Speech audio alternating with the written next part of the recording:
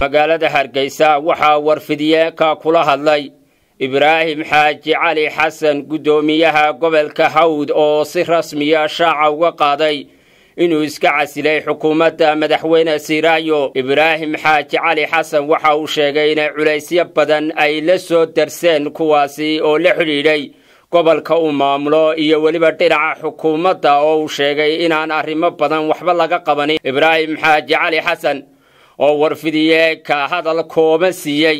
Waxa uu yidhi shirkan jaraa'id dulucdiisu ay tahay anigoo runtii ah guddoomiyihii gobolka hawd madaxweynaha axmed maxamed maxamuud siilaanyo ii magacaabay. Aad baan ugu mahadnaqayaa. Intii runtii aanu soo wada shaqaynaynay madaxweynahana aad baan runtii ugu mahad waxaan u mahad gobolka hawd iyo bulshada ku dhaqan oo bulsho aad u sharaf badan oo runtii aad u qiimo badan oo weligii aanay ilaawin runtii say ila soo shaqeeyeen. Waxaan aad ugu mahadnaqayaa bulshada gobolka saraar aan barasaab ka soo ahaa intii uu madaxweyne siilaanyo xilka hayay oo runtii aad ila soo shaqeeyay runtii. Waxaan runtii maanta doonayaa inaan ku dhawaaqo inaan iska casilayo xilkii guddoomiyaha gobolka hawd iyadoo ay jiraan culays igaga imanaya deegaanka aan ka soo jeedo iyo ka aan guddoomiyaha u ahay labadaba. Cabash cabasho fara badan oo ay ka tirsanayaan. Ay tirsanayaan aanaan isku dayey inaan wax ka xallilo in fara badan aan isku dayey inaan wax ka xallilo oo wax ka sii dara mooyaane wax xalahoo ka soo kordhaya aanay jirinin.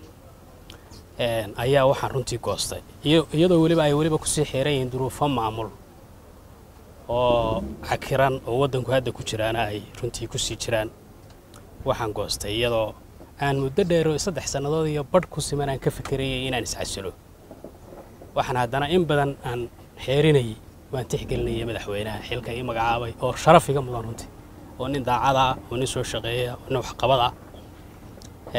Laakiin waxaad mooddaa duruufo kaleoo isaga laftiisa iyo maamulkiisa ku xeeran oo iyana dhanka kale u shaqaynayaad mooddaa inay igu sii kaliftay inaan markaa aanan xilkiisii ahayn maadaama uu isaguna aanu maanta sharaxnayn.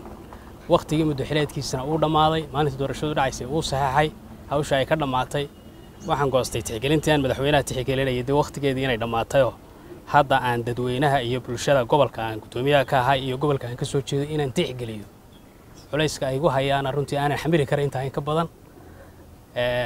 Marka waxaan aad ugu mahad celinayaa mar kale madaxweynaha oo shaqadii wanaagsaneed ee nadiifta ahayd ee daacadnimada lahayd oo dalka ugu shaqaynayay runtii aan intaaba ku tixgelinaynay runtii dadkii kale ee nadiifta ahaa ee xukuumadda aanu ku wada jirray aanu soo wada shaqaynayna runtii aad baan ugu mahad celinayaa.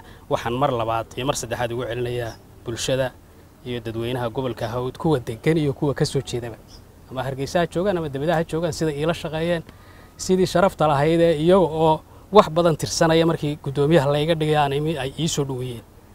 Aniguna runtii si hagar la'aana baan ugu shaqeeyey oo daacadnimo ku jirto waxaan rajaynayaa intaan sii noolahayna siyaasadda ku sii jirana.